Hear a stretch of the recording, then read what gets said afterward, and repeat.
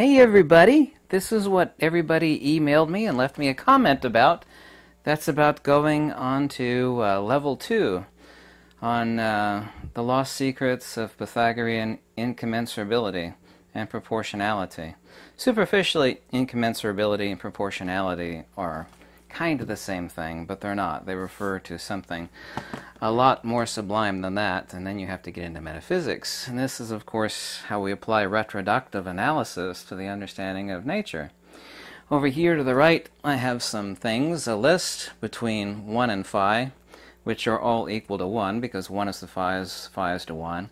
We have phi to the power of negative 3 to negative 2 to negative 1, phi, phi squared, and phi cubed and phi is to 1 as 1 is to phi. So all of these are different proportionalities that the ancient Pythagoreans actually said um, were different uh, uh, aspects of uh, natura naturans, or of Mother Nature. As you remember in the last section, from Plato's Republic 509d to 511, the secret hidden therein, which none of these so-called brilliant academicians ever discovered, is it uh, you take a go, ahead and look it up. Plato's Republic 509d to 511 then I'll have you look up the golden angle which is 137.5077 we'll talk about that a second. You uh, take a uh, line you divide it unevenly you take each one of those sections and divide it unevenly. And we have a proportionality of phi 1 1 and 1 over phi which in totality is equal to phi cubed and also 2 equal to 1 over phi to the power of negative 3, which is 0.23606, but 1 over phi to the power of negative 3 equals phi cubed. And here we have the perfect proportionality of the division of the cosmos novitos and the cosmos ascitos. To keep it simple and short, the cosmos ascitos is a reference to the metaphysical universe, and the cosmos um, ascitos is a reference, of course, to the existential or empirical cosmos, or universe. And of course, we talked about this specific triangle, which is the 108, 36, 36 triangle. By the way, 108, of course, adds up to 9, and 36 adds up to 9. And it just keeps going on and on. By the way, fundamentally, I'm not going to get into that in this video. This is the secret behind Nikola Tesla's uh, secret of 3, 6, and 9 as far as the secret of the universe, but that's a matter for another discussion.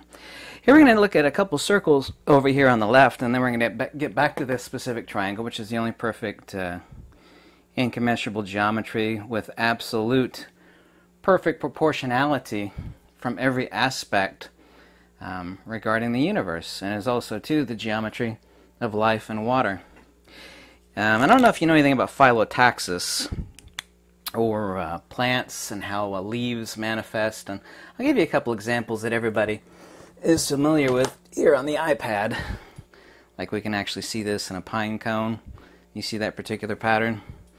Or in a sunflower, that particular phyllotaxis, the arrangement and the particular geometric arrangement therein. And you can look up on a Google search or a Bing search the uh, golden angle which is 137.5077. So if we do a division of a circle here of the golden angle, here we have at the top 137.5077. We could just say 137.5 for short, and the remainder is 222.5 degrees. What we have now is a perfect proportionality of 1 to phi. Now, everything that we actually see is beautiful and perfect proportionality in nature, which is the golden angle. You can also, too, type in golden angle is 137.5077, which is equal to phi, or 1.618, but phi is to 1 as 1 is to phi. So when we say 1, or we say phi, we're really not talking about two different things, rather the expression of one and the same thing under different proportionalities and modalities of manifestation vis-a-vis the cosmos ascitos or the cosmos novitos. So we have a proportionality of 1 to phi. Now if we take another circle, there's another angle which is equal to 1, not just 137.5077, but 85 degrees, and this keeps popping up in nature. And down here we have 137.5077, and on the other side we have 137. 5077. We can actually draw those out like that if we want Put the triangle in there. So now we have something interesting. We have here 85 degrees, which is equal to 1, which of course is equal to phi. But 85 degrees times phi, or 85 times 1.618033, uh, etc., etc., is equal to this, the golden angle. So we have 85 times phi equals the golden angle of 137.5077. Also 2 phi and phi plus 1 equal phi cubed. So we can actually represent that which people call the golden angle or the golden section, or perfect incommensurability and proportionality between the agathon or the absolutes. And we can't forget about the euristos dias, or the indefinite dyad, i.e., AD, which is not 2. There's the reason why the first two digits of the Fibonacci sequence are 1 and 1. It goes 1, 1, 2, 3, 5, 8, 13, etc., etc., etc. So we know that 137.5077 is the golden angle, which is equal to 1, and phi cubed plus phi equals, excuse me, phi squared plus phi equals phi cubed. Too many phi's in there, right? So, which is, of course, equal to pan, or Rhea, or gaia, the Greeks over here, we can take a look over here on the right really quickly. And this would take too long to explain. Phi squared, phi to the power of negative 3.23606 is equal to the Euristos dias. Phi to the power of negative 2.381966 is equal to the psyche or soul. Phi to the power of negative 1 or 1 over phi is equal to uh, gross matter or hyle. Uh, phi is a proportionality of 1 as manifest because phi is to 1 as 1 is to phi. Phi squared actually would take way too long to explain. That would be a matter for discussing on a third level. Phi cubed, however, 4.23606 is equal to pan, or Rhea, or Gaia. Ultimately, the expression of the agathon, or the absolute, against its extrinsic attribute, which is phi to the power of negative 3, which is equal to phi cubed. Yep, very simple. This is tattooed on the inside of my right wrist, which is my discovery, which is the expression of um, Pythagorean, Platonic, Neoplatonic, etc., etc., um, monistic monism, which of course eliminates out the need for uh, original cause or prima causa or original sin. Now we're going to get on to hopefully the interesting part. I hope I haven't bored you to death. I've tried to keep this really simple. And I'm going to try to draw circles freehand with this marker leaning over here. And it's not going to be that easy, but I hope I accomplish it. Yeah, I'm going to draw something inside of this particular triangle. This is the only perfect geometry in the entire universe. My circles aren't perfect. Sorry about that. But once again, we have here, by the way, 1 is equal to phi to the power of negative 3, which is equal to phi, which is also 2 equal to phi cubed, which is equal to 1. This is a perfect proportionality and the euristos dios of incommensurability and the great secret, quote unquote, of the Pythagoreans. And you won't find this in any book or in any article whatsoever. Right in here, of course, I drew the water molecule. Not a coincidence? Nope, not a coincidence at all. Now, if I draw, I'm going to use my ruler here, but I don't think I have to.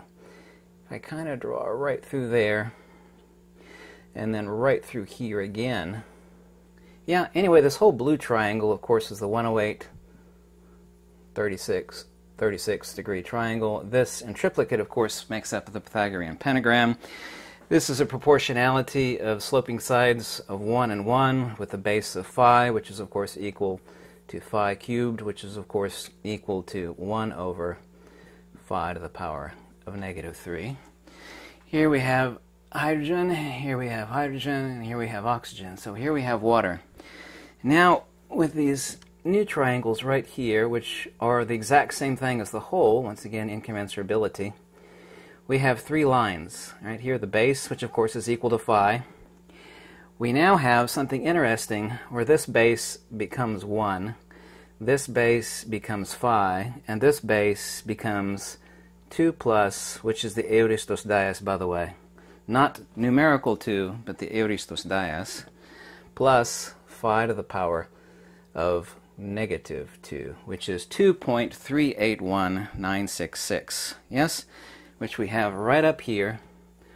1 plus phi plus 2 plus phi to the power of negative 2, which I'm sure it's total coincidence, equals 5, which the ancient Pythagoreans, Platonists, Iamblichus, Damascius, Numenius, Syrianus said was the completion of the entire universe, and that is true, 11235. Of course, the only number missing is the number 4. 4, of course, is time. Time isn't real. Time doesn't exist in nature. Time is a measure that human beings came up with relative to magnitudes. So here we have three different sections. Yeah, we have a section of 1, a section of phi, which passes through the plane of inertia of the hydrogen atoms. The plane of inertia of the first passes through the middle of the oxygen atom. Yeah, and by the way, you, if you actually look up the geometry, I get asked this all the time, and I've written about this endlessly. They'll say, well, a water molecule is 104.5 degrees. And that's assuming that you actually pass it right here like that through the middle rather than the outside of the charge of the molecule itself. So it's actually 108, but if you could say it's 104.5, it means they're measuring it from the center of the oxygen and hydrogen. Not that anybody in the universe has ever technically measured it, of course, certainly nobody on Earth. So that would be 104. But the actual charge and the geometry of the totality of the water molecule is the 108, 36, 36. So here we have something fascinating, which is not coincidental, that 1 5 plus the Aristos dias, not numerical 2, plus phi to the power of negative 2 equals 5. Now let's do something a little more interesting here. At least I hope you think it's interesting. Remember back over here where we knew that uh, 1 was representation of 85 degrees? I guess I'm going to have to do that again. I'm going to have to whip out the old ruler. Yeah. I'd like to show you the most interesting part. If I could get it here. I'm going to use the ruler on this one. There's always an incommensurable cut. People say, well, if you're going to cut this, you're not going to slice it down the middle. That's not an incommensurable cut. The incommensurable cut is where you make this Mandelbrot mirror image in perfect sectional proportionality, identical to the whole, where the smaller and the whole are in perfect proportionality, and the only way you can cut it is such that each one of these consequential triangles becomes identical to the whole. Yeah, which is a cut like that. Well, isn't that interesting? Yeah.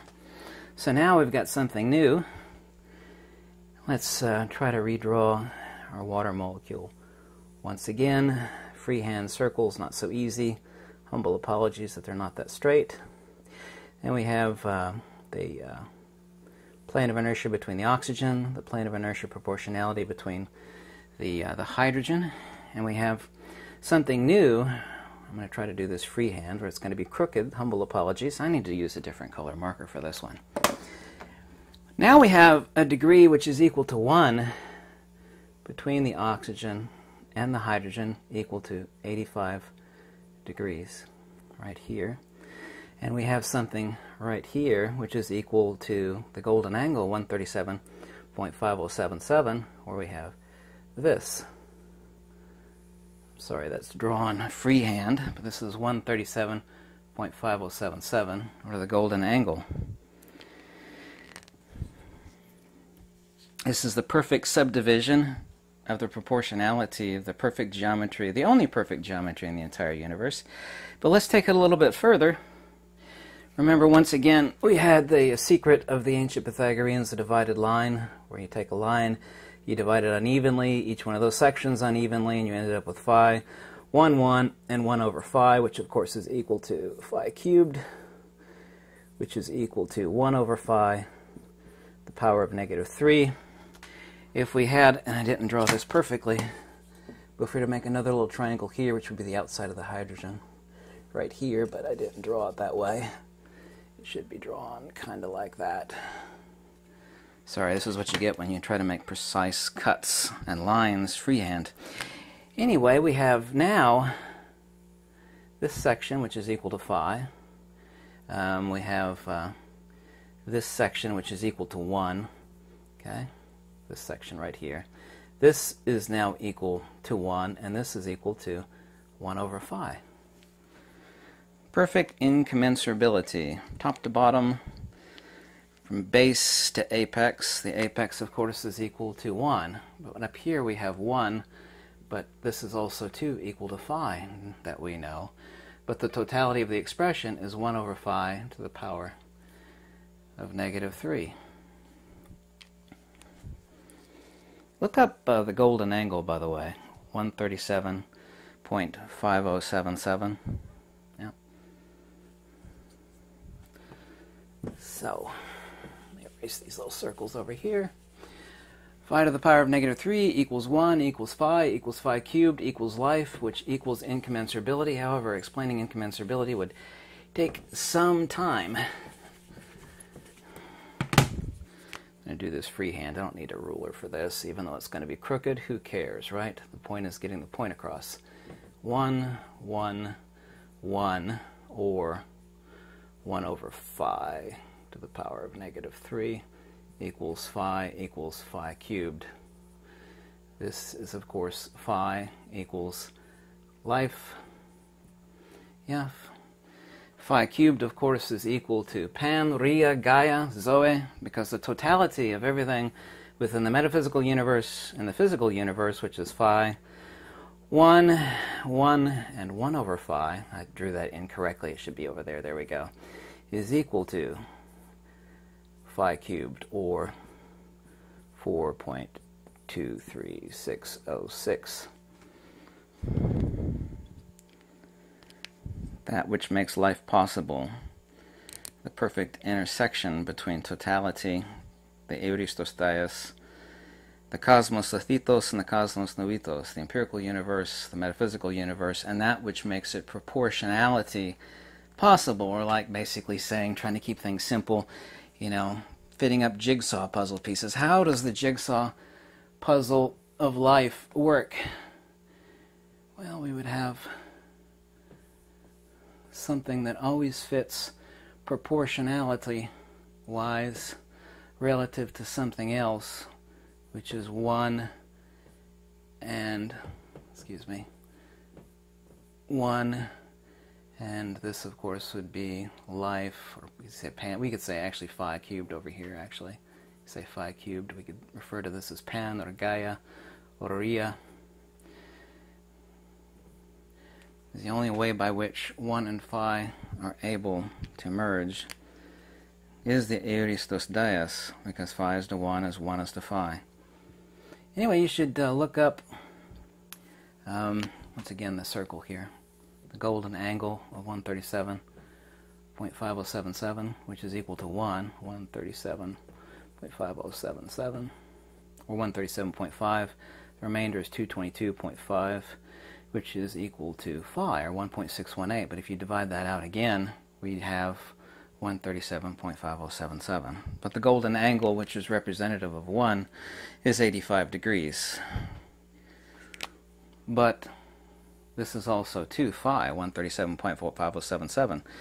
137.5077 equals phi, but 137.5077 is also 2, the 85 degrees of 1.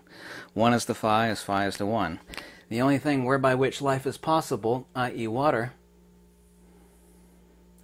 it's right here. And the only perfect proportionality of same is this. Isn't that interesting? We have phi, 1, and 1, and 1 over phi. Isn't that interesting? I'm sure that's a total coincidence, though. You know, it's just a total coincidence that so many things which make life possible match up perfectly. This is the lost secret of the Pythagoreans. If you'd like me to go to level 2, let me know. Thanks so much for watching. I hope I didn't overcomplicate this at all.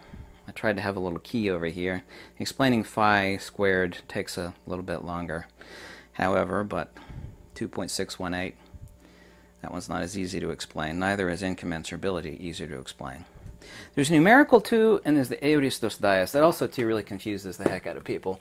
They should never confuse the two because the first five digits in the Fibonacci sequence one, one, two, three, five, right here. Both of these are the absolute. This is the agathon of the absolute, and this is the euristos dias, or the extrinsic attribute of the absolute. This would be akin to light, and this would be akin to illumination. It goes monad, mind, uh, magnitude, matter, and man. Not literally man, I just said man, because it also starts with a man. Uh, in M, this, of course, would be ontos, or being. Yep. Monad, mind, number two, magnitude, and matter. The only number missing, of course, is four, because four is time. Time doesn't exist, according to Mother Nature. Time is a concept dreamt up by human beings to keep track of masses and magnitudes and their measure. But the second one is not two, it is the attribute of the first one. Numerical two is magnitude. Magnitude and matter, by the way, are one thing, just as the first two ones are one thing, principle and attribute. This would be the uh, cosmos principle and attribute almost, which is two and three, which are really one thing. And by the way, this is where the Trinity comes from. Let's do this once again before closing this out. The Trinity is really ancient. If you think the Trinity is original to some sort of religion, then you're mistaken. Two, three, five. These two are one thing. This is one thing, and this is the last thing. This is the absolute and its attribute. This is uh, magnitude and matter. And this is the synthesis of the absolute and its attribute, magnitude and matter, which is being. This is the Trinity. The first, the second, and lastly the synthesis of the of the first and the second. So anyway, hope you like this video. If you want to email me or any donation, that's in the description below. Thanks so much for watching. Goodbye.